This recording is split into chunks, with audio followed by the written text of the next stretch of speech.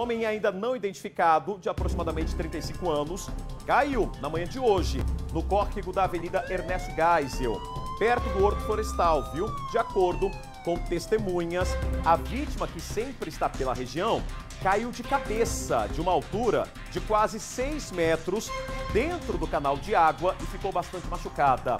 Vocês estão vendo hoje né, a movimentação do Corpo de Bombeiros. Eles tiveram de fazer o socorro no local e uma escada foi usada pelos militares para subir a, até né, e fazer o resgate do homem. Lembrando que aqui em Campo Grande choveu na manhã de hoje. Até o momento, esse homem não foi identificado. Ele foi levado para a Santa Casa e ele está entubado. Pessoal, é a primeira informação.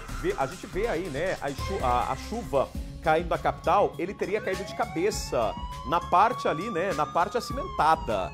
Ele teria caído, olha, hoje pela manhã, e é uma velha pessoa conhecida na região aqui em Campo Grande.